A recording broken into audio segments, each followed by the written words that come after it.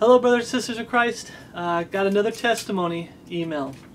And the reason I'm reading a lot of these lately, brothers and sisters in Christ, is because I wanted to, when I get done with this, I wanted to reiterate why I jump up and down and say, Praise the Lord for the pandemic. You've got brethren out there that are like, We need to fight, we need to fight, fight, fight, go down guns blazing. Right? This is going on because God's making this happen. I'm kind of getting into it now and I'm supposed to do it afterwards. Okay? All things work together for good to them that love God, to them that are called according to his purpose. God is doing this for a reason. And I'll just jump the gun and say the two reasons we're going to talk about after this is to wake people up to true biblical salvation, to wake people up to salvation, to getting saved. People are getting saved through this pandemic and because of the pandemic, because of all the lies being promoted, they want truth and they go seeking truth. And who's the way, the truth, and the life? Jesus Christ, the real Jesus Christ of the King James Bible. The King James Bible. Okay. Oops.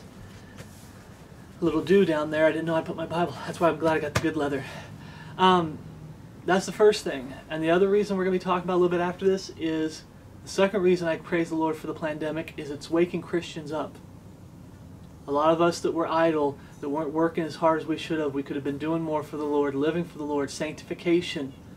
Some of the brethren out there, I had, you look at people in the past, we had a long time to kind of, we shouldn't have fought God. I fought God two years.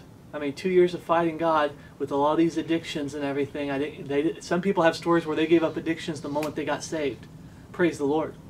But there's some of us who fought Lord on it, who fought the Lord on it.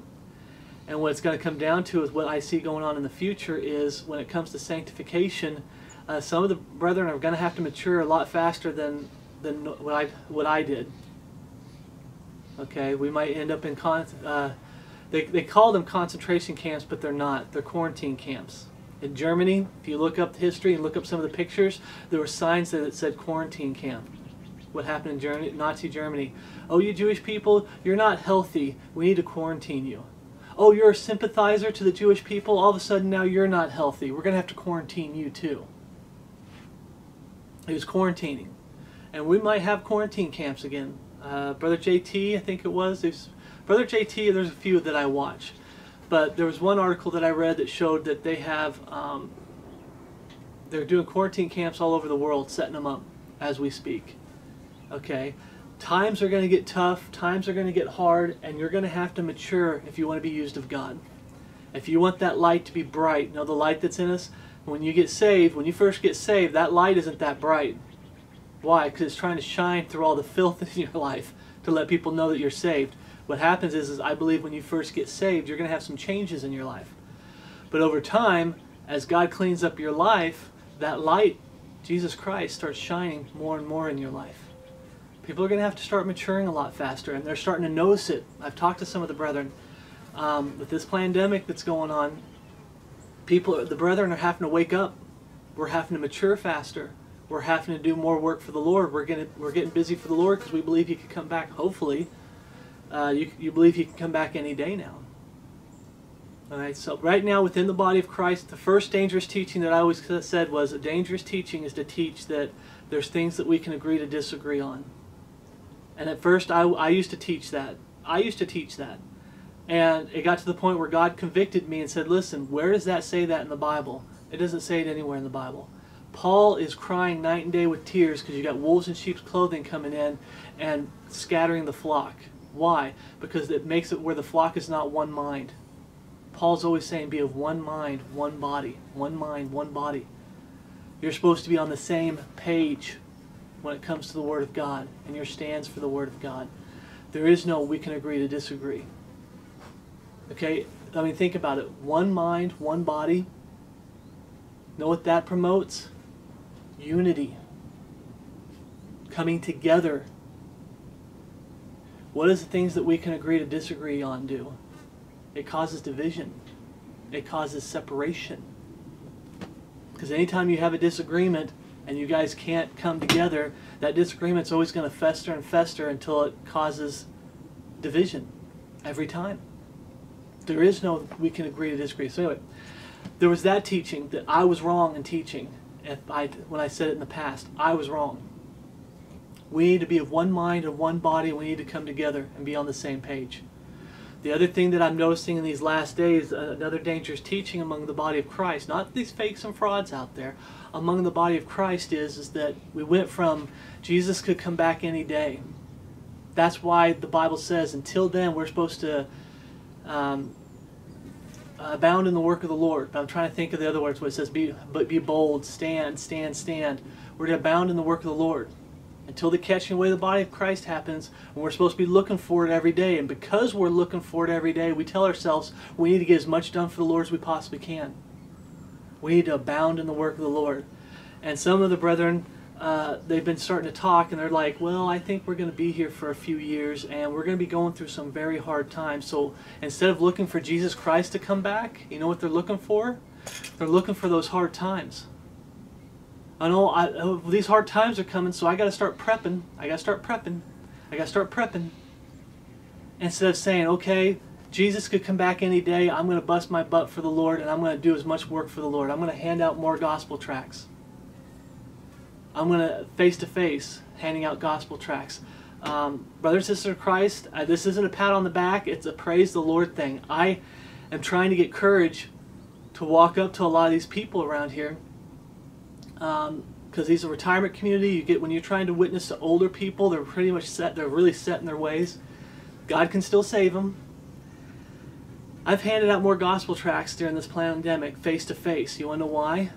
Because I would I, I would always just lay in places. In the businesses, I'd lay them everywhere and everything. But when I got kicked out of the businesses because I don't wear a mask, I don't take the death shot, and I get kicked out of these businesses, the only alter alternative that I had was is I want to continue working for the Lord. I had to get the courage to start handing gospel tracts out. So why do I keep jumping up and down and saying praise the Lord for this pandemic? People are getting saved because of it. God's using it to his glory. It's waking the Christians, uh, the brethren up.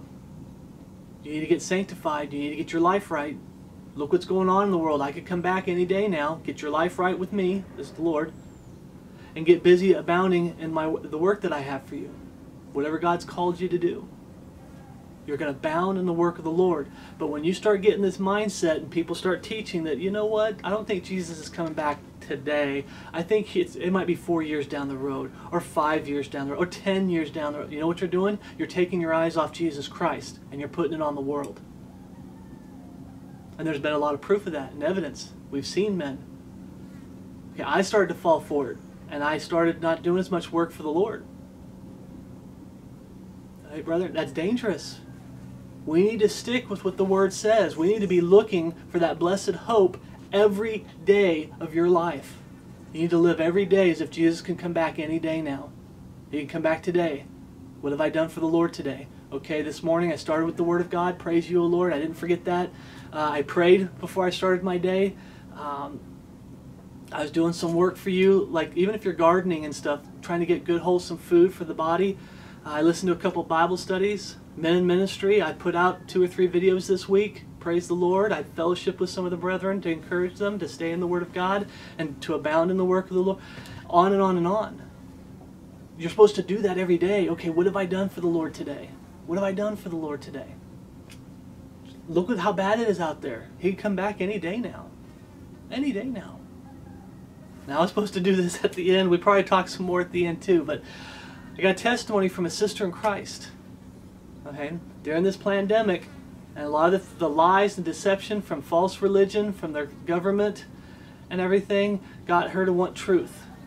Or actually, got her brother, because we read her brother's testimony. Got her brother to want truth, and then her brother shared the truth with her that she didn't have. All because of the pandemic. So everybody keeps saying this pandemic is just so evil and wicked and we gotta fight it, we gotta fight it. Let's listen to this testimony by a sister in Christ.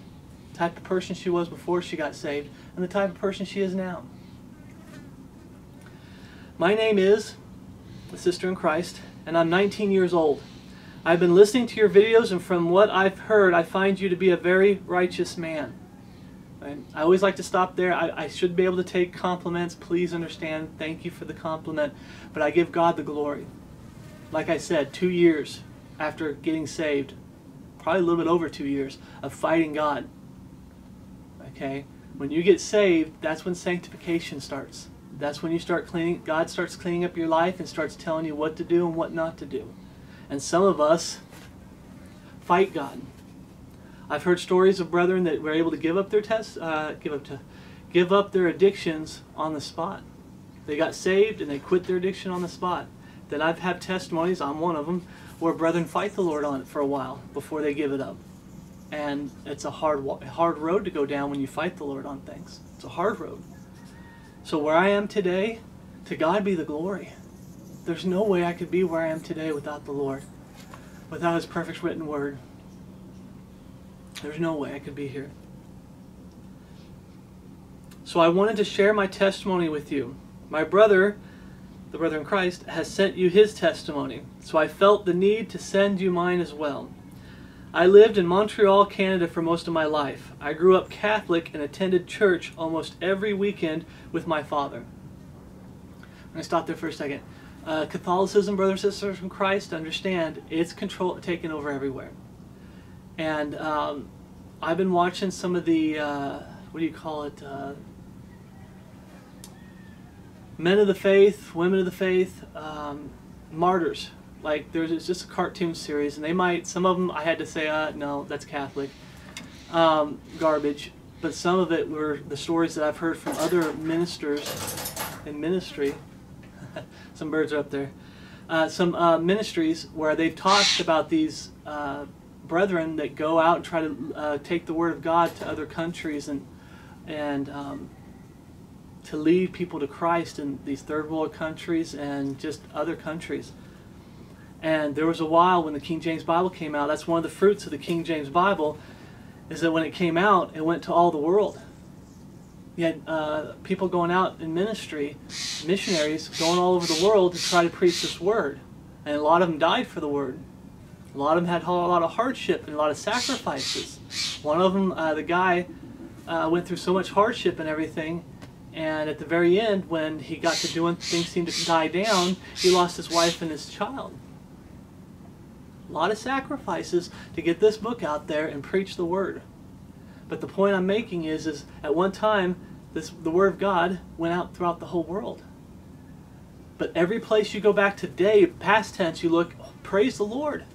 Present tense, you go and look at all those areas and they've been infested by Catholicism. The Bible believe there's very few Bible believers left. It's all been infested by Catholicism. Everywhere. Canada's one of them. Big place. Okay? I remember always bothering I'm sorry. I'm sorry. Uh, I grew up Catholic and attended church almost every weekend with my father. I remember always bothering him, her father, to go to church with me. I wanted to understand more about religion and to engage myself in it. My father brought me to two churches. One of them was Slovenian Church, where I barely understood what they were saying because 80% of the sermon was in Slovenian. I hope I'm pronouncing that right. My father also brought me to an English church, but I never really learned anything. I was really young at the time, but I still wanted to learn about who Jesus Christ really was. I remember going to church and being thrown in the back with the other children where I could withdraw. I was so frustrated. I went to my father and demanded that I wanted to leave. After that, I started to turn away from religion. That's why the Bible teaches, and like I said, brothers, right now, the world does not go according to this book. The whole world now is openly. It used to be trying to hide it and slowly sneak it in. It is now hardcore, 100% openly against this book. The ways of the world are contrary to the Word of God. Okay? The parents are to raise their children in the admonition of the Lord. It was her father's place, if he was truly saved, and he wasn't. It's her father's place and her mother's place to teach her who Jesus is. But they don't know who Jesus is. How can they teach their children? I understand that. But remember, God's way is, is it's not the Babel buildings. It's the parents that are supposed to be teaching their children Jesus Christ and His Word, the Ten Commandments. Okay.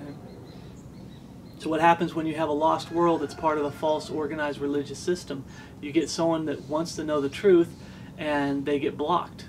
They put the wall gets put in front of them. They get don't get told the truth. Now don't get me wrong, she won't be able to find the truth in that place. But you, hopefully you understand what I'm saying. I stopped asking my dad to go to church and started noticing how self-righteous other Catholics were. Okay. My biggest thing is there's nothing wrong. If you want to say self-righteous, there's nothing wrong. But the Bible, I always like to say this, the Bible says they go about to establish their own righteousness. Establish. In other words, there's, the Bible says there's none righteous, no, not one. There's none that understandeth. There's none that seeketh after God. They've all gone out of the way. They've together become unprofitable. There's none that doeth good, no, not one. There's none righteous. So we kind of adopted this saying of self-righteousness when the Bible condemns that. There's no such thing as self-righteousness. Because that's saying you can have your own righteousness apart from Jesus Christ. Right? Now, like I said, I'm not going to give you a hard time, but I'm just saying the Bible says they go about to establish their own righteousness. In other words, it's a lifelong process that's doomed for failure. It's a lifelong process that they're, they're going around trying to establish their own righteousness, and it's doomed to fail every time. But understand what this sister in Christ is talking about. You have people that's so self-righteous, especially in Catholicism, but in um, what is it, Jehovah's Witness, I've come across them. Once again, they're trying to establish their own righteousness, lifelong process. They don't know whether they're saved or not, so it's a lifelong process, and they're going to fail every time. Same thing with Mormons and all that. The, uh, we call them daughters of the whore in the Bible. It talks about the daughters of the whore of Babylon. Uh, they're just Catholicism, a different brand of Catholicism. All these, all organized religion out there today even the Babel building systems that started out innocent, saying we just want a place where we can worship and sing and come together and listen to the Word of God being preached. Catholicism have infiltrated those places. They're all daughters of the whore. All organized religion out there. It's just daughters of the whore. And they're all about, uh, you'll see self-righteous people in these Babel buildings everywhere. I'm sorry, I even said it. You'll see these people that are going about to establish their own righteousness One of the biggest deceptions today is the easy believism. You know, I believe, therefore I've earned salvation. I've established my own righteousness. Uh, no, you have to repent and believe. No, repentance is works. Even prayer, I don't even have to ask God to save me. I've earned it. It's faith alone. I've earned it. You see what I'm saying?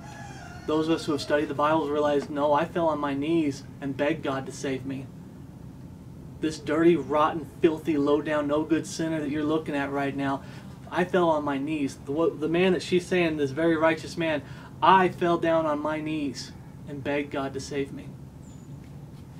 This new movement of easy believism, you don't do that anymore. You just believe in your head and you've earned it. You've earned salvation. You went about you went about establishing your own righteousness and you feel like you have because you've earned it with your belief. But the fact of the matter is, they're still lost and on their way to hell. But I understand what the sister in Christ is saying. Sorry to get off on a, on a side note. My dad's side of the family were religious, but were a family of scorners. You know, looking down on people. That's why I stop here. That's why the Bible. Uh, I want to do a teaching on it eventually, and I will, uh, where the Bible talks about uh, in the past, we were without God in the world and we were without hope. And it tells us to remember that. It also tells us to remember the old man. We're supposed to remember what kind of person we were. You look at this man that's standing, that's sitting right here. The sister in Christ says, "Oh, he's he's a very righteous man." Well, I have Jesus' righteousness, and the man that I am today, like I said, it's 100% what God did in me. It's the work that God has done in me through His Word. But I got to remember, I wasn't always that man. I was a just a wicked, wicked man. I was a false convert. I was not shining the light of Jesus Christ to the world. I was helping create false converts. I was giving people a false sense of what uh, a fake. I was giving them a fake Christianity. I was a wicked, wicked man. It's one thing to be in sin. It's another thing to mislead people into thinking they're saved when they're lost. That's just utter wickedness. I was a wicked man. And the Bible says we're supposed to remember who we were before we got saved. Because that helps us when we go to preach the Word of God to people, the plan of salvation. When we go to lead people to Christ. We don't go by somebody and look at them and go, judging them from the outward appearance. The Bible says, "Be uh, don't we're not to judge on the outward appearance, but judge righteous judgment." A lot of times, brethren, don't tell me it hasn't happened to you, where you go by and you look at someone and you, your courage fails you, and you look at them and go, "Well, mm, they wouldn't want Jesus Christ anyway," and you turn around and walk the other way. You forget who you were when you were lost. You forget. Thank God that that, that uh, the person, my uncle, who pointed me to King James Video Ministries, that he didn't have that attitude with me. That brother in Christ didn't have that attitude with me, saying, "Hey, you know what? He's so into video games, movies, TV shows. He's so worldly. You know, he doesn't want Jesus Christ. I'm not going to lead him to Jesus Christ." We got we can't forget that, brother, and sister Christ, where we came from. The lost man's supposed to stay dead and buried, but we're not to forget him. When it comes to our heart for the lost world and preaching the plan of salvation. Yes, you're supposed to wait for doors to open, but I'm telling you right now, there's doors opening. We're reading a testimony right now. There's doors opening. And brethren are trying to complain and whine and say, well, there's just no doors, that's why I'm not preaching. There's doors opening. You're just lacking the courage. And you're using anything and everything as an excuse not to preach the plan of salvation. I'm pointing at me first. I always talked about this when I first got into ministry and started doing some videos. I explained to you guys that I still need more courage. I still need more courage when it comes to preaching the plan of salvation to people face to face and handing out gospel tracts to people face to face. God's working on me. He is. So I'm pointing at me as much as I'm pointing at you. Okay? The door's there. You go out in public and the guy walks by, you're that's a door. I go walking on the beach and every man that walks by, I say, "Hello, how are you?" Every woman, man that walks by, I say, "How are you and how are you doing today?" To see if the door because the door's there. You're face to face, the door's there.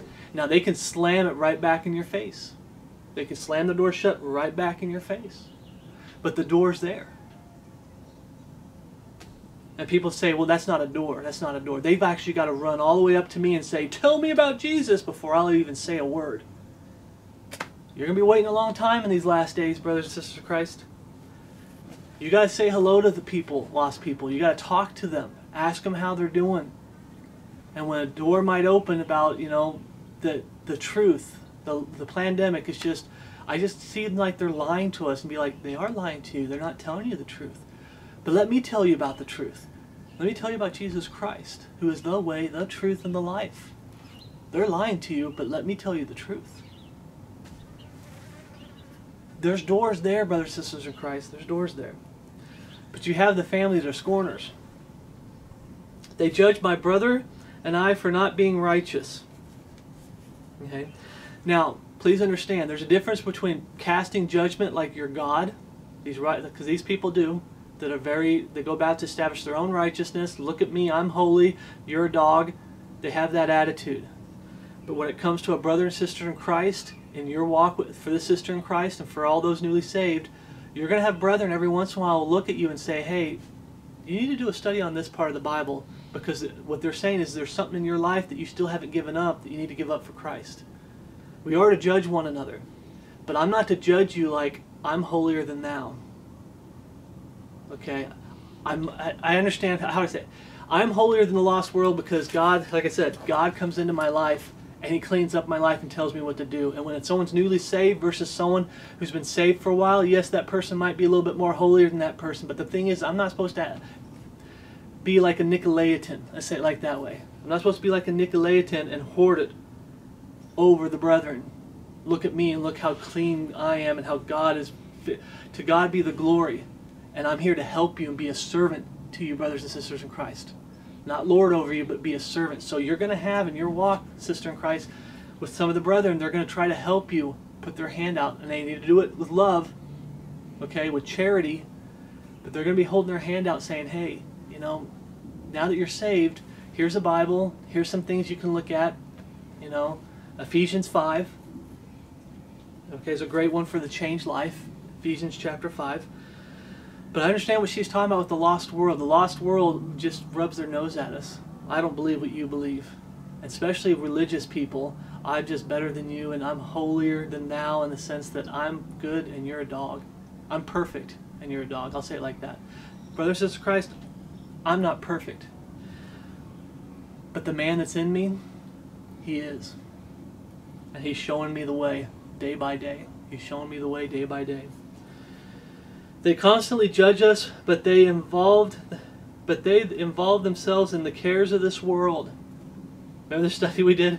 Cares of this world, though they didn't even own a Bible and were alcoholics. Okay? I like the Bible word drunkard. I'm not getting on anybody if they say alcoholic, um, but the Bible talks about drunkards.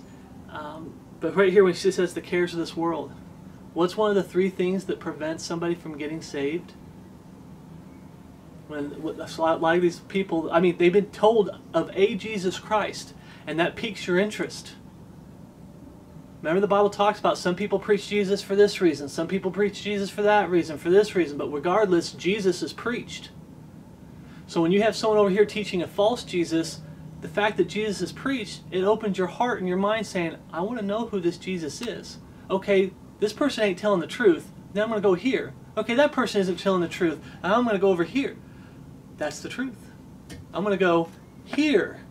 King James Bible. That's the truth. But they're seeking it. Okay? But those are three things that uh, uh, prevent the Word of God from being fruitful and preventing people from getting saved. Fruitful in the life of a Christian, but prevent people from getting saved to begin with. Cares of this world, deceitfulness of riches, and lusts of other things. Those three things. She mentions one of those. Cares of this world. That they didn't even own a Bible. That's, that's the Catholic way. You know, you have a Bible, but it just gathers dust. Or you might not even own a Bible. It doesn't matter.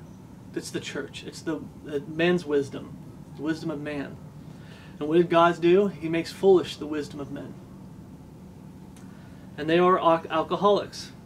If you uh, listen to the testimony that I did uh, a week or two ago uh, about her brother, uh, her brother, her real brother, but also a brother in Christ, he talked about that, that he had to deal with parents that were alcoholics. My mother's side was even worse. My mother used my father for money and it ran in the family. My mother always told me as a child to go for a successful man. I knew very early on that meant to go for a man with money. The only thing my father provided was money, and I despised that. He was never the spiritual head, and that's the only thing I really needed growing up. Now, here's the thing for sisters in Christ that are single out there, and I tell the brothers in Christ this. The way the Bible teaches, brother in Christ, if you're newly saved, you're not ready for marriage. You need to get your life cleaned up. Same thing for the sisters in Christ. If you're newly saved, you need to get in this book and say, Lord, show me what I need to do. How, what do I need to clean up? How am I supposed to live my life? The Bible talks about it. For, for uh, sister in Christ, you need to practice being a good keeper at home. You need to fight, practice fighting feminism and get it out of your life so you can be ready for a head covering. Be under the authority of a man. Head covering. Okay? Men, you're newly saved you need to clean up your life too and get all the wickedness and sin out of your life as you possibly can. But like I said, it's gonna, it's a, it's going to take time. It's a process. But you grab this book and say, Lord, show me what I'm not supposed to be doing and show me what I'm supposed to be doing. 2 Timothy 2.15, study to show thyself approved unto God, a workman that needeth not to be ashamed, rightly dividing the word of truth. Thy word have I hid in my heart, that I might not sin against thee. Abstain from all appearance of evil. Be not drunken. No fornicating Right? You get a lot of stuff out of your life and get cleaned up. Then the second thing that I always say for the men is, is if you're living in a small studio apartment that's just like I, I was the first place I ever lived in outside my home, well, and outside my grandparents' home because I went to live with my grandparents at 18 for a year.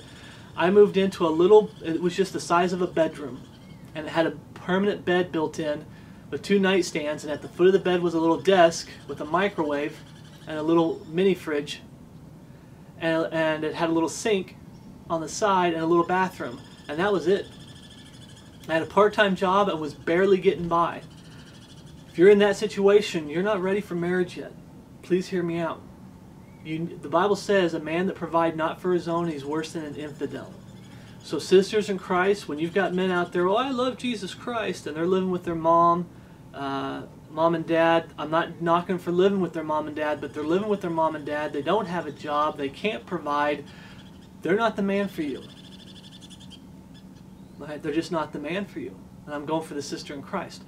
So what Satan likes to do is he likes to take things that God says and he likes to pervert them. So instead of saying, okay, make sure that he can provide. Provide means that he can have a roof over your head, clothes on your back, and food in your stomach. It's not talking about being rich. But Satan likes to twist it until you need to go for the richest man. I'm telling you right now, you need to go for a godly man first. And when you see that he's a godly man, then that godly man, you let him know that I want to be married to you, I want to be with you, but can you provide for me? And if you can't, I'll sit here and wait for you to get up and, and pray to the Lord, and God will open doors for that man so he can get a good job, get some income where he can provide for you so you guys can be married. But uh, that's me going off a little bit. But bottom line, you're newly saved, you're not ready for marriage. God's got some work to do on you, uh, brother or sister in Christ. When God's got your life to the point where, okay, I've been saved for six months to a year, things are doing good, I've, I've God's gotten a lot of bad things out of my life. I'm starting to learn the right things. I was lied to by this world. Uh, a husband's going to look for a woman that's wanting to be a good keeper at home and bear children. A good man of God is going to want a wife and, ch- and children. He's going to want a family. And needs a, wife that's going to be a keeper at home. And the husband, like I said, a wife, a good sister in Christ for the men out there, they're going to be looking for a man who's strong in the faith with the life that you're living but also that you can provide for them. Okay? Provide for them. But I understand what she was talking about. Back in the day, uh, I think that's what they told a lot of the girls. You need to go for the men that have money. And uh, my grandfather was in uh, the military, and that was a big thing too. That you need to find you a nice military man that it's got money. He's got an income. Okay? Uh, godly man's the first thing. Godly woman's the first thing. Then you look at the other things that God says to look at but I can see what she was going through. Her mom wasn't teaching her to be a good keeper at home and wasn't teaching her to look for a godly man.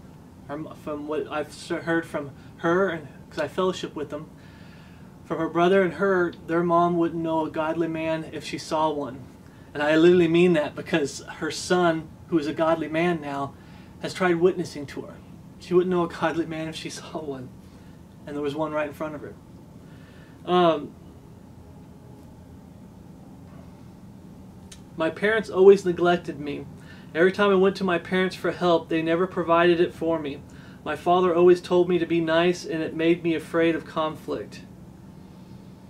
And I didn't know how to stand up for myself because of that.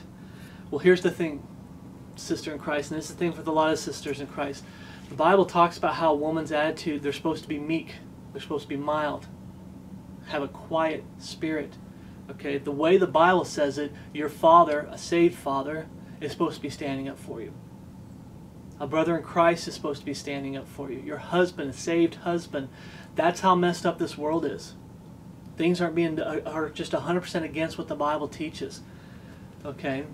Feminism teaches that women have the right to get out there and hoot and holler with the men and stand up for themselves and be men.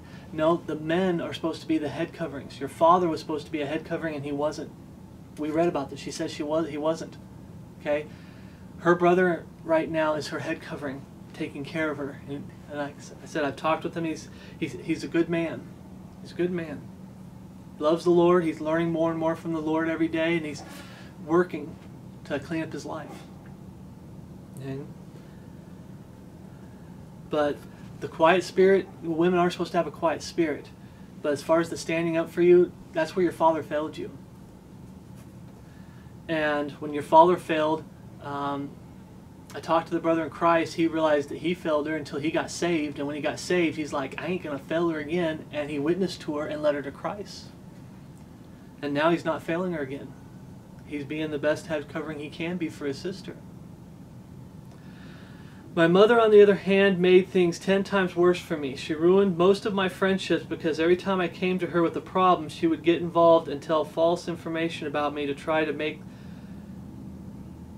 says make look bad. I think it's trying to make her look bad. She always got involved in my life and was very controlling. Now I would stop there, brothers and sisters Christ, because for anybody, uh, a good Bible-believing, God-fearing hus- uh, man, husband, wife, that's going to be a father and a mother. Uh, the lost world says, oh, they're too controlling. No, they're doing what they're told to do. They're supposed to raise you in the admonition of the Lord. They're supposed to discipline you. They're supposed to teach you trade skills. Daughters, how to be good keepers at home.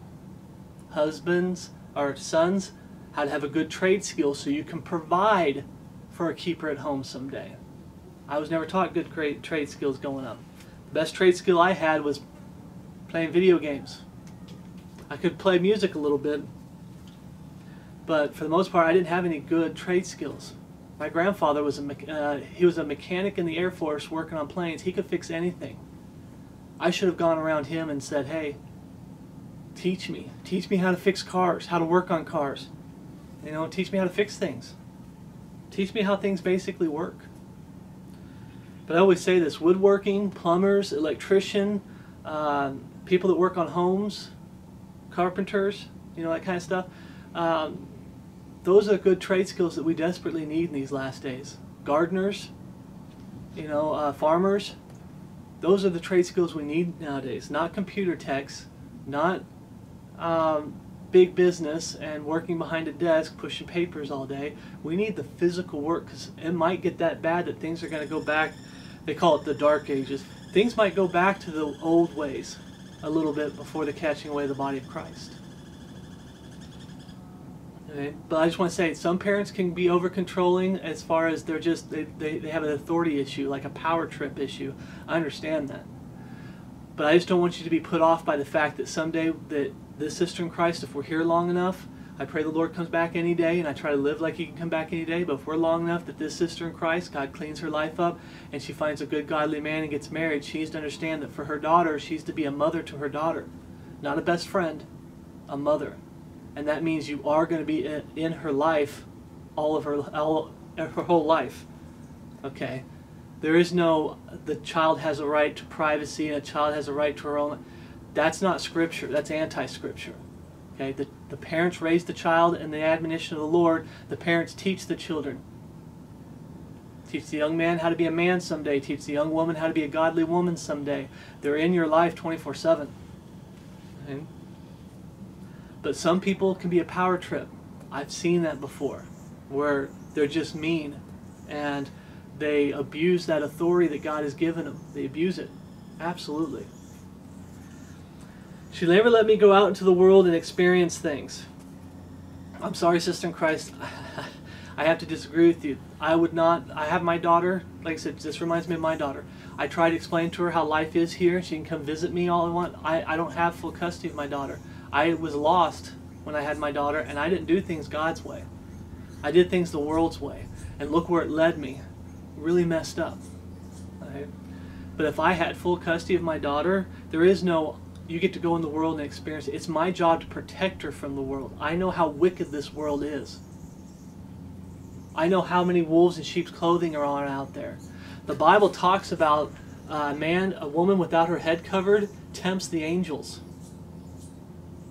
A woman that has no saved father head covering, or a husband, or a brother in Christ, or a pastor as a head covering that they're obeying, not just because they watch him online, that they're emailing him, asking him questions and he's trying to be like a father to him saying this is how you're supposed to do things according to the scriptures a head covering. It tempts the angels. It tempts satan to come in and start whispering. The bible says by good words and fair speech is deceiving the hearts of the simple. It's also deceiving those women out there that don't have head coverings. Okay? so be careful with that sister in christ. I just want to say i understand that they can be overbearing. I think um, it might be on here because I've read this a few times. Uh, we'll get to it where they wouldn't even let you play in the in the front yard on the grass. Wouldn't let you go. It wouldn't take you out hiking. Wouldn't take you out to see God's creation and stuff like that. See, that's overboard. That's really overboard. But when it comes to you wanting to go out in the world and experience the world, that's the worst thing for you. It's the worst thing for you. There's wickedness in the world, and I understand your father didn't do his job but I'm telling you, as a, as a brother in Christ and as a, a preacher and a teacher, and with love, we're here to protect you. Okay? The world, you go out in the world by yourself without a head covering, and it's going to eat you. It's going to eat you up. It's going to mess you up and it's going to lead you down the wrong path 50, 50 wrong paths. Remember, straight and narrow is the way to heaven, broad is the gate that leads to the destruction. You know, there's tons of paths that'll go this way, that way, that's going to lead you astray. She wouldn't allow me to stay at friends' houses or go anywhere on my own. And like I said, it would be nice to have a house church where you have you can play with other brethren's children that are being raised in the admonition of the Lord. But when I was growing up as a false Christian, I had a lot of so-called friends in these uh, so-called educational system that led me astray and got me in a lot of trouble. And later on in life, I realized I really only had a couple friends, just a couple. I didn't have a lot of friends. I had a lot of acquaintances, people that you just hung out with while you're at school. Okay. So, like I said, I would still, like I said, it's not that we're controlling, it's our job to protect our children. So if I tell, if I see some girls over there talking about, you know, bad things and going and doing bad things, and I tell my daughter, if I had my daughter here, I'd be like, you don't hang out with them. You just stay away from them.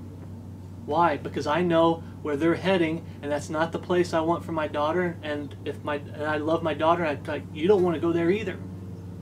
There's a lot of sisters in Christ and brothers that have testimonies where they went a direction that they were told not to go, and they knew in their heart they shouldn't have gone that way, but they still did anyway, either out of stubbornness or pride or, or re rebelling against authority, the head covering, and they had they fell flat on their face, and they regretted it. I do. I have stories where I've done things I've don't do that, and I did it anyway. My grandfather would always tell us, "Don't do this. You need to be doing this," and I went and did things my own way. But I understand, like I said, house church. That's why I'm so desperate for house churches, so you can have brother, uh, uh, other kids around that are being raised in the admonition of the Lord, that they can go out there on the swing. They can play out in the yard. Okay? Yeah.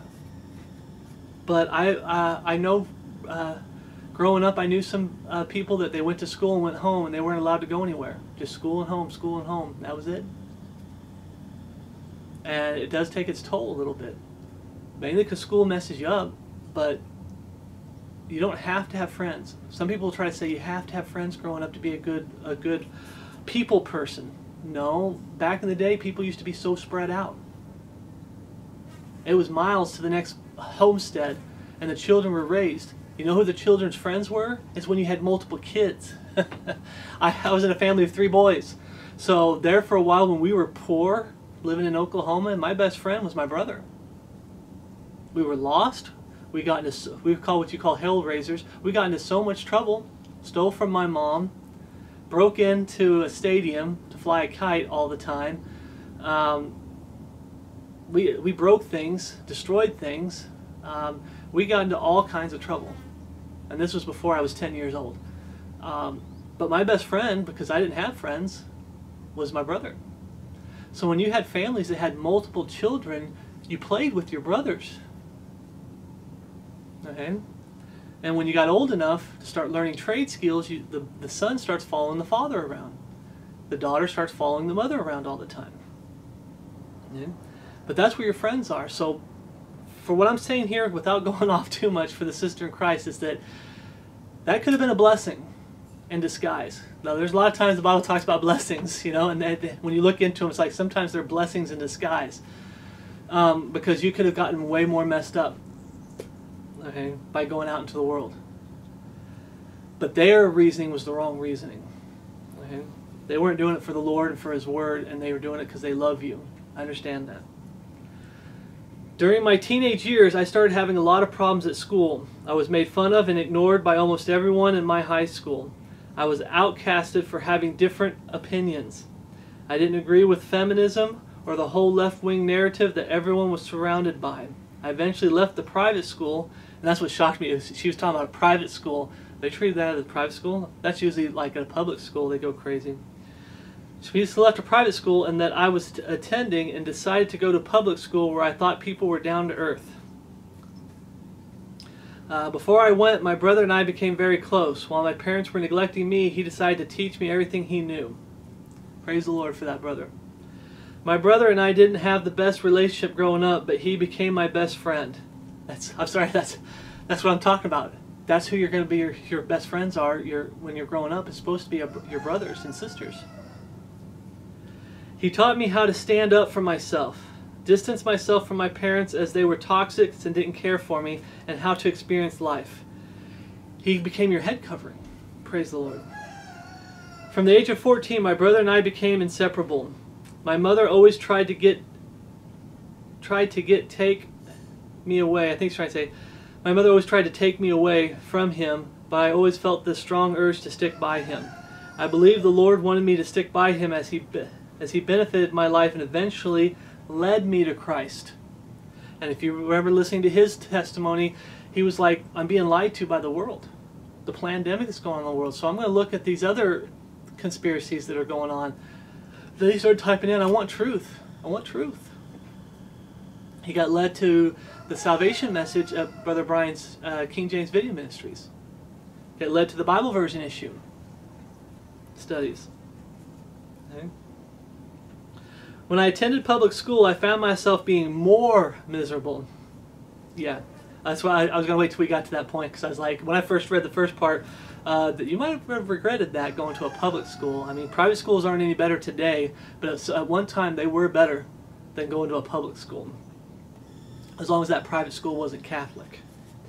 but chances are it was here because um, she was raised Catholic. But as long as it wasn't a Catholic private school, uh, a lot of bad things happened there. Um, but she goes, I'm miserable. I hated the government education. I was being forced to learn.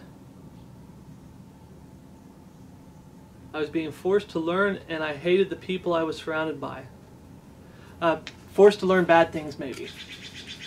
I just read an article where they're talking about how they're trying to, here in Oregon, they're passing some kind of legislation or something where they're foregoing, in other words, they're just basically giving people high school diplomas whether they can read, write, or do math. They're just, that's not important anymore. And it was always heading that way, brothers and sisters Christ, because that's all they were supposed to be teaching in these public schools. They were supposed to be teaching your children to read, to write, and to do math. It was always like that. Reading, writing, arithmetic. Reading, writing, arithmetic. That's all you need to know to make it in this world. Reading, writing, arithmetic. And you know what? That's still the same for today. That's all you need to know to make it in this world. You say, what about being a computer tech? You go to a special school for that. But can you read?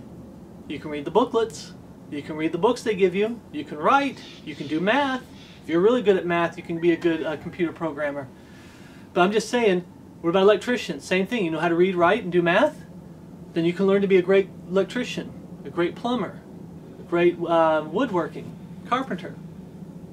That was the three things that they came out and said, we're only going to teach these to your children. What happened? Over the years they added so much junk that has nothing to do with those three things and now they're taking those three things away.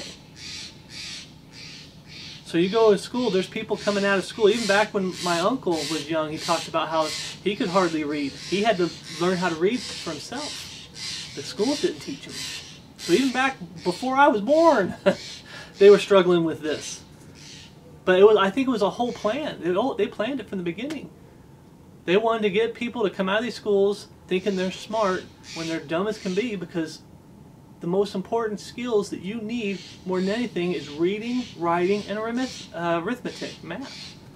Those are the most. If you're homeschooling your child, that's all you really need to teach your child: reading, writing, and arithmetic. You teach them how to read through the Bible. You know, if they can read that Bible and pronounce those words, the Bible, you teach them how to read the Webster's 1828 dictionary, and you go through the words and the definitions. Um, you teach them how to read and write and do math, and they'll be they'll survive just fine in this world. And as they grow up, uh, I'll use Brother Brian as an example. His, his Brother Brian is really good at uh, carpentry work, woodworking, and I've watched people do it. It takes measurement, um, it takes patience, but it takes measuring. And sometimes you've got to read things to figure. Like he's got some old books. I bought some of the old books too that teach about the old like refining, refining metals, metallurgy. Um, woodworking, gardening, and this, you can read up on stuff and say, okay, what am I doing wrong here? Is there a better way to do this or an easier way? And you can read. And you have to always write. You have to draw and write words, and you have to draw and write like links and stuff like that. You, you're taking notes when you're doing woodworking and stuff like that. He can learn that from his father, but he can only learn that from his father if, and I know they are, if they're teaching him reading, writing, and arithmetic. That's what's important. The Word of God's the most important thing, but you got to know how to read or have someone to read it for you. Back in the old days, you had one Bible per family, and those that can read would read the most. But then they'd start teaching the younger how to read through that Bible, because that was the only book they had in the house. I began drinking more as it was the only way I could get some relief. My alcohol problems became more worse once I ended high school. And this is the testimony, brothers and sisters. There's people that when they go searching for truth or they seek for answers or they seek for a cure, Sometimes they go down some bumpy roads in the wrong directions before they find the right direction. And that's what she's talking about.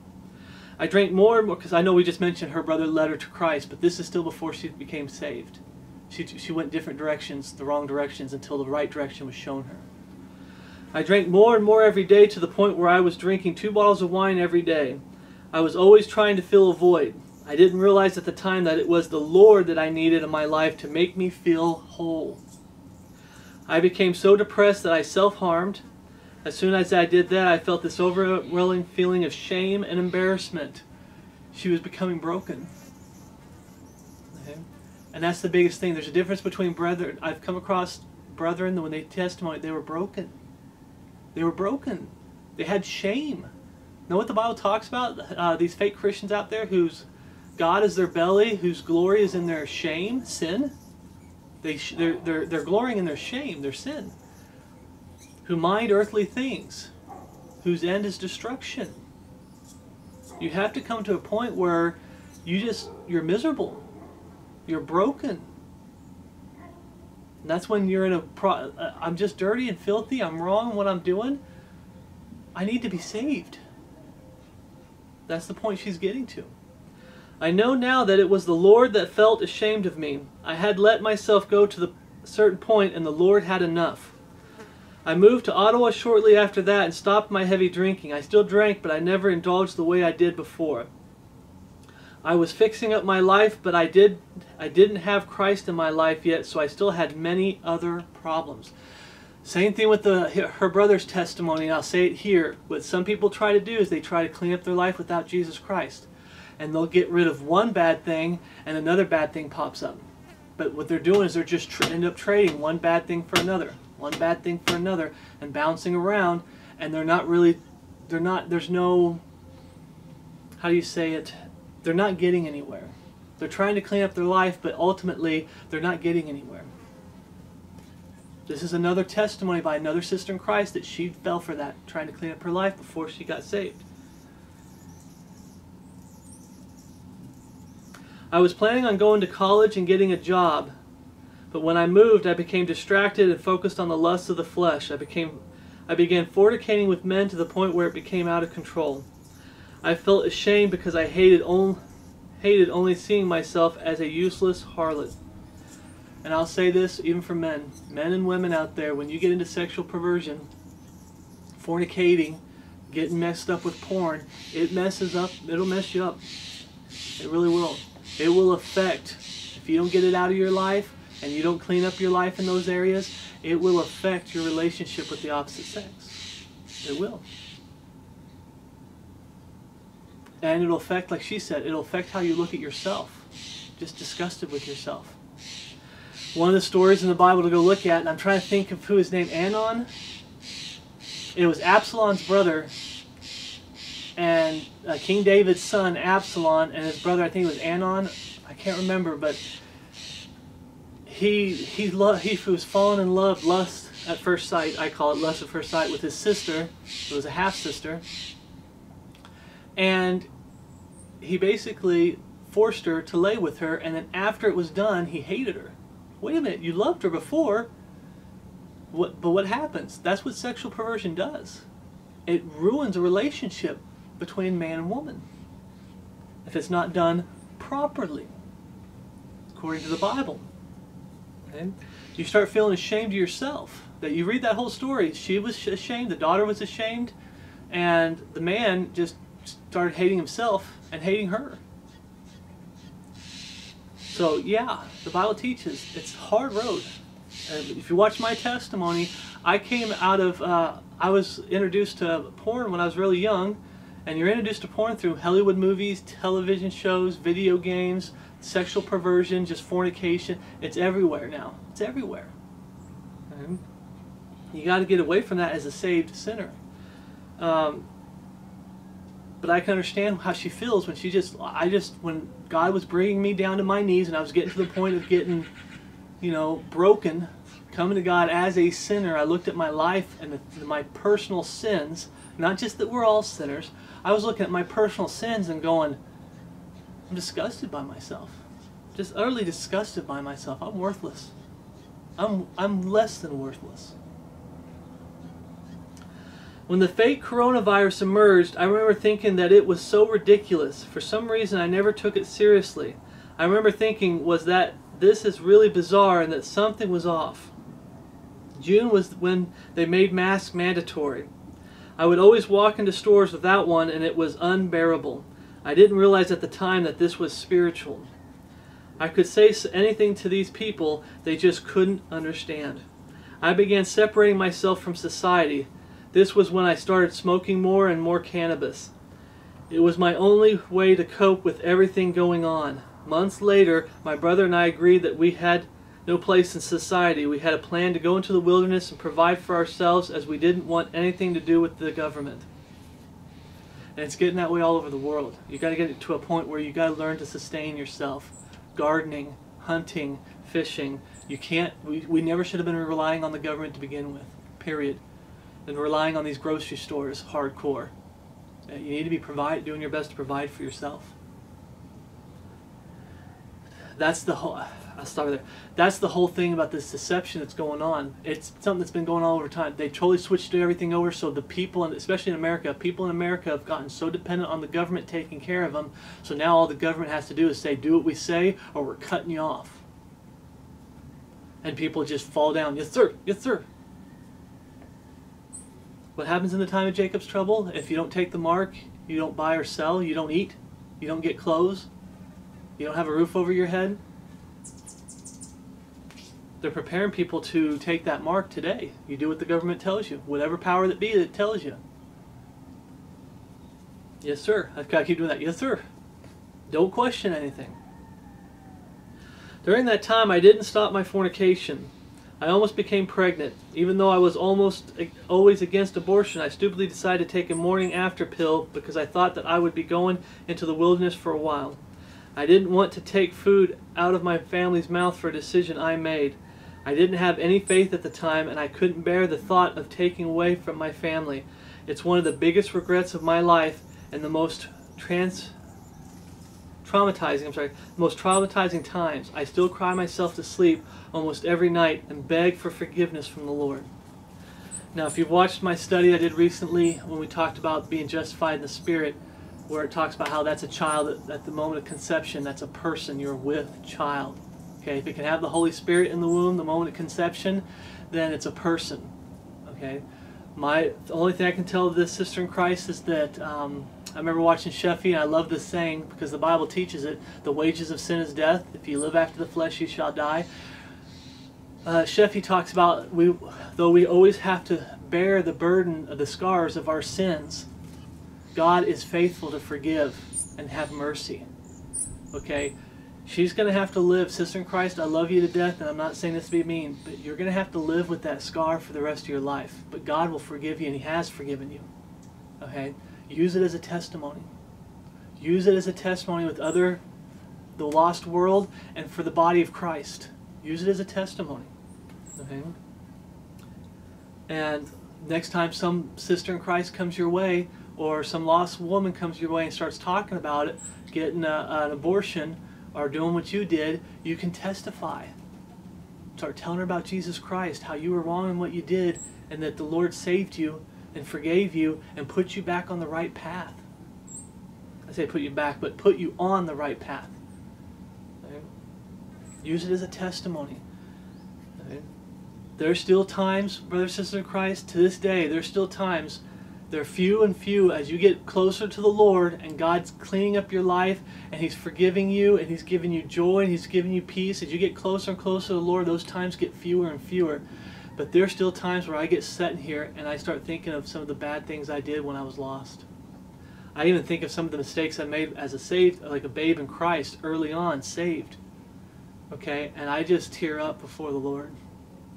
I just tear up before the Lord. Why is that?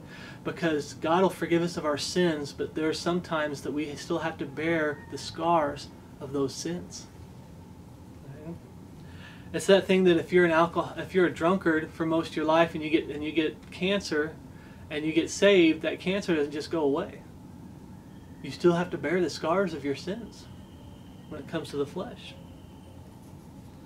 But I understand what she says. I've been through it, crying myself, I, I, crying to, to the Lord, and just getting so down about the person I once was, or the mistakes I've made in my past as a Christian. But you got to get past it to a point where it doesn't happen that much, and you use it, take it and use it for the Lord. Use it as a testimony. The mistakes I made in my past, I try to use them as a testimony to the brethren and to the people that I come across, the lost world, so they don't make the same mistake. We tried living out there, but the Lord made us come back. Talking about out in the uh, wilderness. I was still lost at this point. When we came back, I became very depressed and I didn't have hope. I love how she used that word hope. Why? Because remember what the Bible talks about. Brothers and sisters in Christ, this is what I was talking about before when it comes to preaching salvation to the lost world. When you look at them, remember that used to be you. If you've already tried witnessing to them once or twice, maybe even up to three times, you know, three, I always say three strikes, you're out when I used to be into sports. But if you haven't ever tried witnessing to them, try. Why? Because at one point in time, brothers and sisters Christ, we were without God in the world and without hope in the world. We had no hope. Our future was bleak. Our future was hell. That's the future of this lost world. That's their future. They're going to hell to burn for all eternity and then tossed in the lake of fire to burn for all eternity. Because death and hell is cast in the lake of fire. That's their future. They have no hope. What do we do? We go out and we preach hope. Another way of saying becoming broken as a sinner, you come before God realizing you have no hope.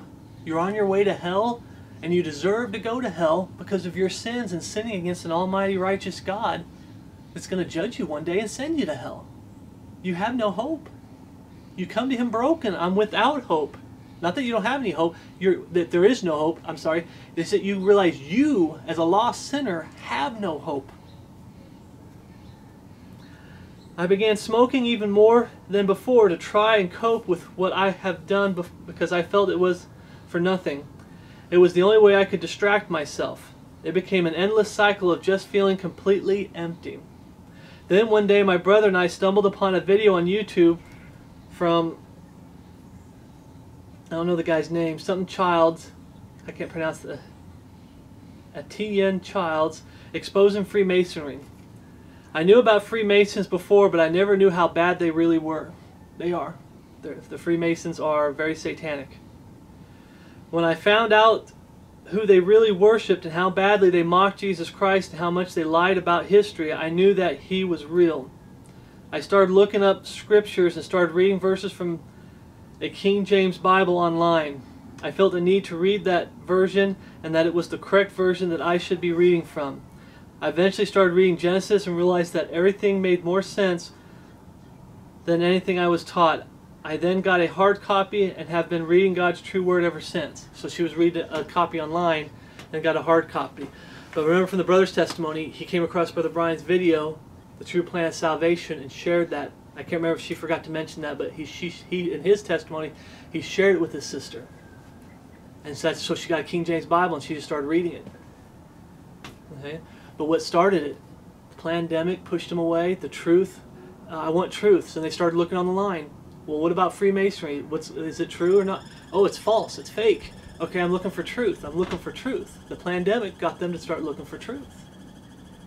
They started seeing how all these lies out there, the false religion of, of Catholicism.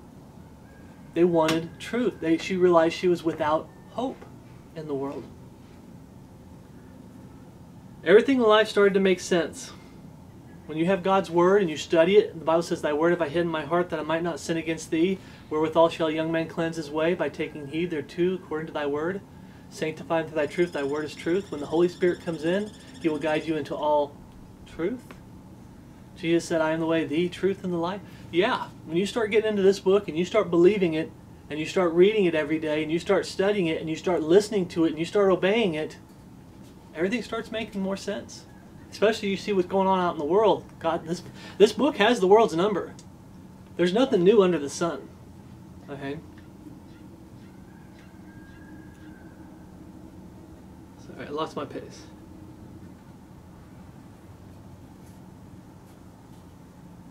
I then got a hard copy and been reading God's true word ever since. Everything in my life started to make sense. I don't feel empty anymore because the Lord came into my life and showed me what was what was missing from it.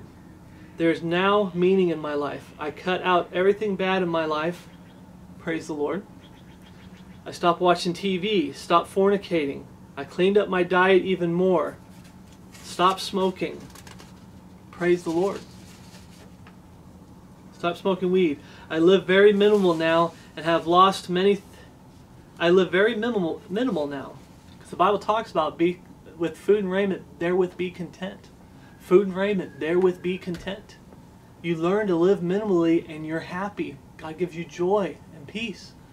You, I could have only one outfit, be in a small little shed that has a little bunk and a little wood stove, and I'd be happy. Why? Because God gives me His Word. He comes into my life. He's providing for me. You know? You learn to live minimal and you're happy. I live very minimal now and have lost many things, but I couldn't be happier because I have God with me. I'm glad that I'm able to share my testimony with such a godly man. You are living the way God intended, and I will pray that you will continue to be blessed by the Lord. Glory to God. Paul would always end his uh, letters with grace and peace from God our Father and our Lord Jesus Christ be with you all, and my love for you, which is in Christ Jesus. He wanted God's grace upon people. He wanted God's uh, peace upon people, on the brethren, and love for one another. God's love. He loved him because God loved him and saved him. Um, so I want to get back because um, the other testimony she she was talking about how she found truth. The other testimony was talking about uh, that they came across Brother Brian's uh, salvation message at King James Video Ministries, and I'll link it again below. Um, the true plan of salvation is repentance towards God. You come to God broken. We saw that in this testimony. She she started getting miserable. She started looking at herself, saying that she was just disgusted by herself. She realized she was without hope in the world because of her sins. She's without hope in the world repentance. Godly sorrow, repentance. For godly sorrow worketh repentance to salvation, not to be repented of, but the sorrows of the world worketh death. You can have you can have godly sorrow or you can have worldly sorrow. You can't have both. She started to have sorrow. Could have been a little bit worldly sorrow, but at some point it came over and became godly sorrow. She became broken. Okay? For godly sorrow worketh repentance to salvation. Sorrow for her personal sins, the, the things that she did, the type of person she was. A lost, hell-bound sinner. She was sorry for it. Lord, I'm sorry. She had to come to Lord, I'm sorry. Lord, I don't want to go to hell, but I deserve to go to hell. Lord, what can I do? Well, you cannot fix it. You have to believe on the you have to believe in the finished work of Jesus Christ on the cross, and she did. Right? Death, burial, and resurrection. But how he died, the blood that was shed was God's blood. God manifest in the flesh. God came down in the likeness of sinful flesh. He came in the form of a of a lamb, the Lamb of God, Jesus Christ, the body of God. It was God's blood that was shed on the cross. He was beaten he was bruised for our iniquities. He was chastised. The chastisement of our peace was upon him, and with his stripes we are healed. He died. He rose again the third day, proving that he is God, fully and completely. You got to believe that his death, burial, and resurrection, that the blood that he was shed is God's blood and that it can wash your sins away. He paid the price that you were supposed to pay. You say, well, what then? That's when you fall on your knees before the Lord and say, Lord, I'm a dirty, rotten, filthy, low down, no good sinner. On my way to hell, I deserve to go to hell, Lord. But praise be to God. I believe in your Son, the Son of God.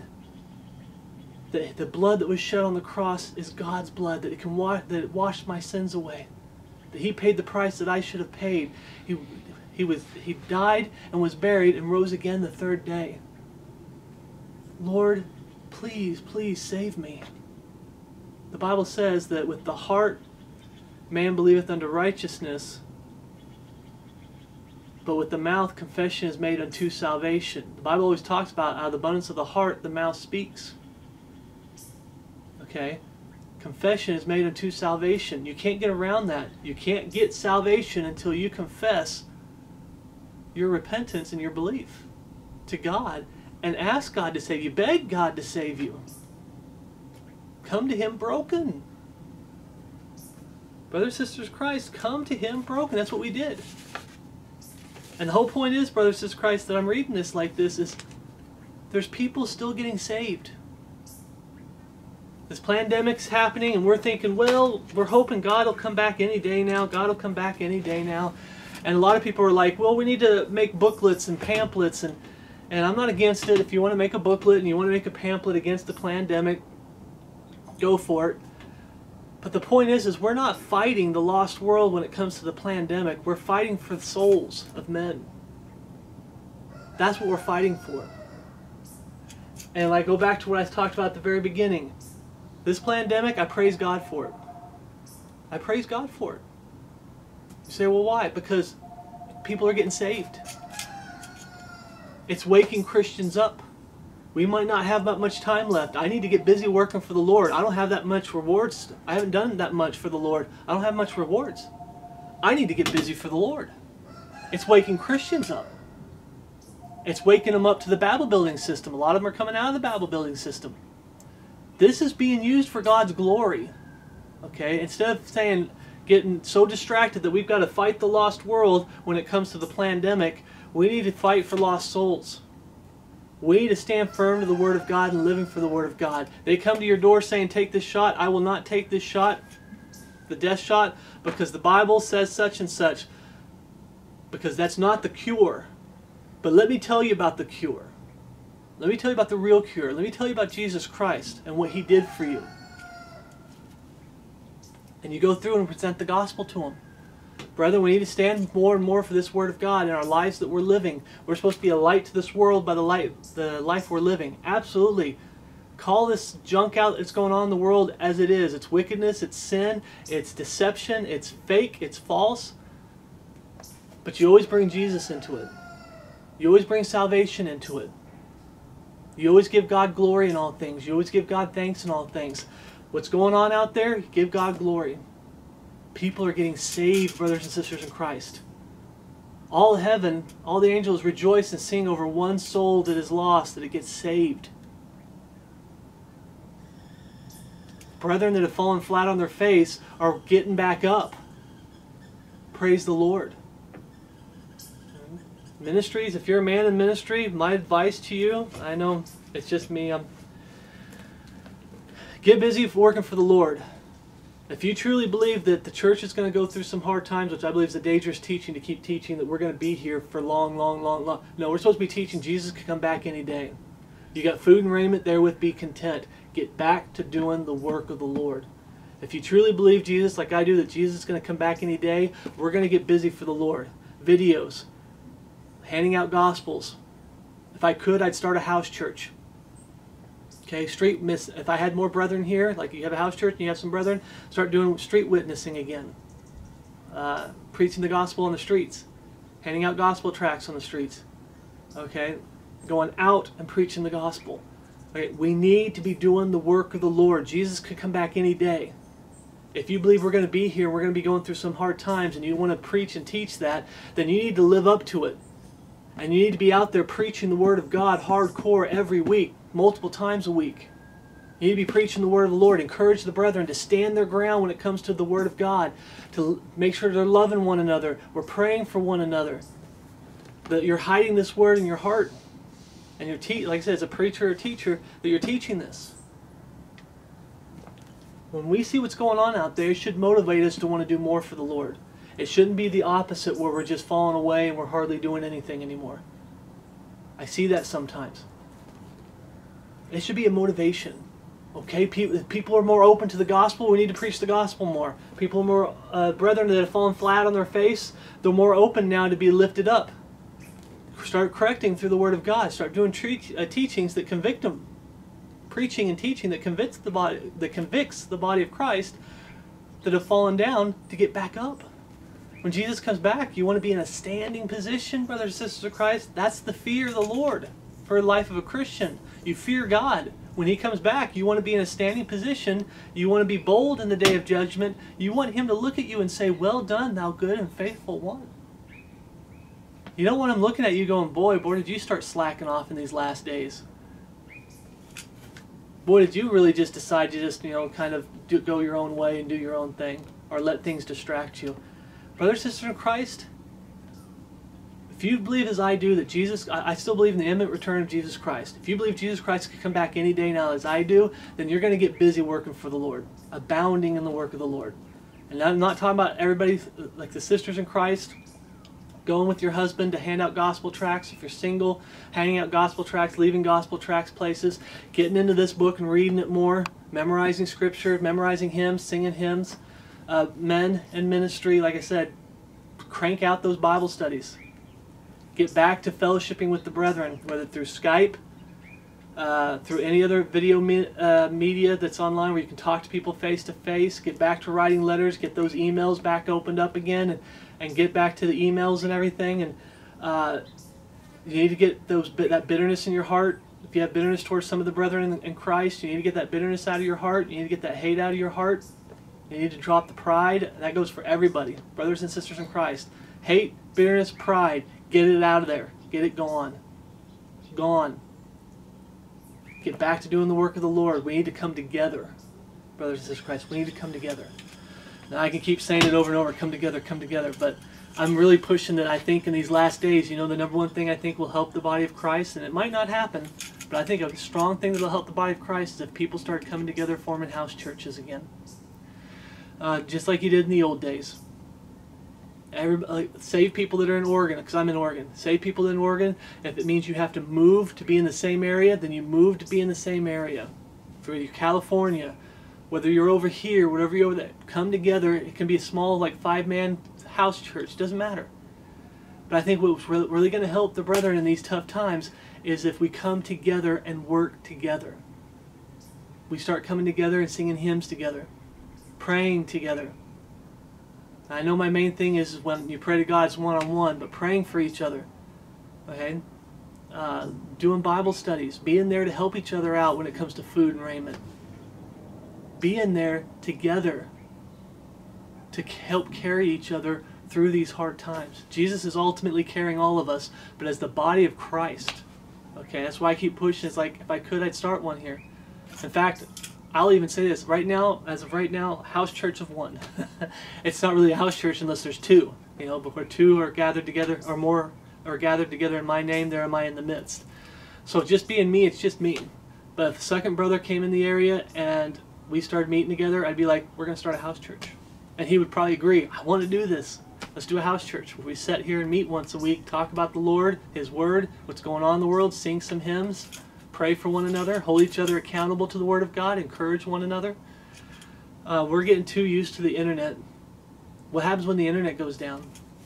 What happens when people like me, brethren, brother and sister in Christ, but brethren in ministry like me, get kicked off? What happens then? The body of Christ is going to be like going frantic. Well, we need to plan ahead. You need to start thinking about house churches. You need to start thinking about, okay, who's in my area? And, and, I mean my area by state. Who's in my state? If I have to move closer to the brother and we all got to move to a closer area that's inexpensive, then we all move to that area and start a house church. Brother, sister Christ, people are getting saved. Okay, people are getting saved. The doors are not closed. It's just in the future, I believe the door, some doors will close. Internet will close. Okay. So I've rambled on enough. Brother, sister in Christ, I love my brother, sister Christ. I'm praying for you. Please pray for me.